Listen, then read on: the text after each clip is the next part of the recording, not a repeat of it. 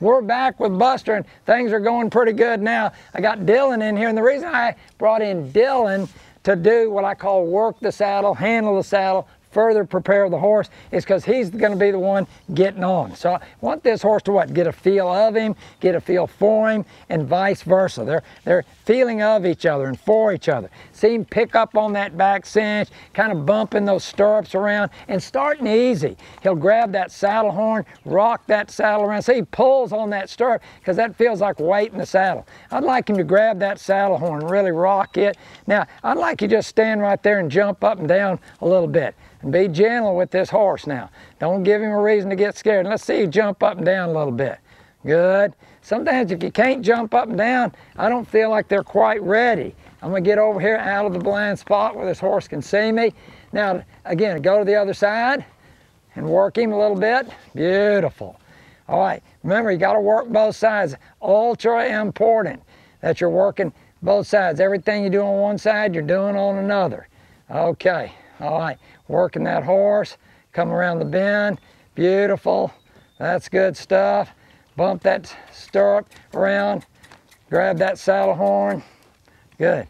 Now, that's pretty good stuff. Now, good, now, whoa. Now, grab, grab, throw that rope on the ground. I really don't like it wrapped around your, your arm. Go on that right side and jump up and down a little bit if you would. Just there. Now, now get on that, in that pocket, beautiful. Now jump up and down a little bit. I think that's going to be important on this particular horse.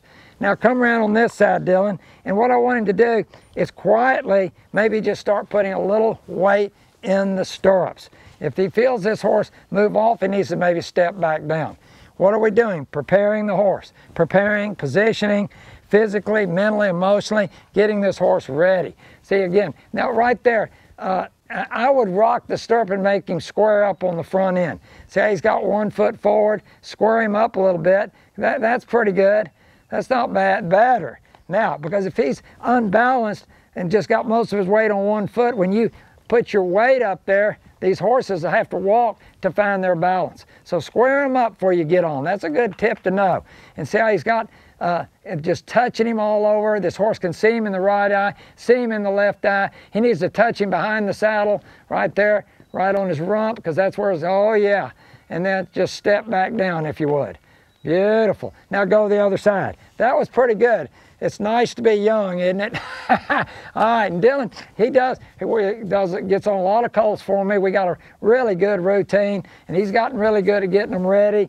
Like at the expos, I'll come in here and do all the preparation, and then usually I'll get on another horse while he gets on. So occasionally I'm still getting on, and uh, because people will say, Craig, we want to see you get on, but you know I need to be careful as I'm getting up there in age a little bit. So take care of myself, take care of my horses. All right, that's pretty good stuff. Outstanding. Horse standing pat and looking good right there. All right. I like what's going on. I think we're on our way to a really nice result. And when on the next segment, you better join us now. We're going to ground drive this horse. Then I'm going to work this horse to another horse. And guess what? Then we'll be riding Old Buster.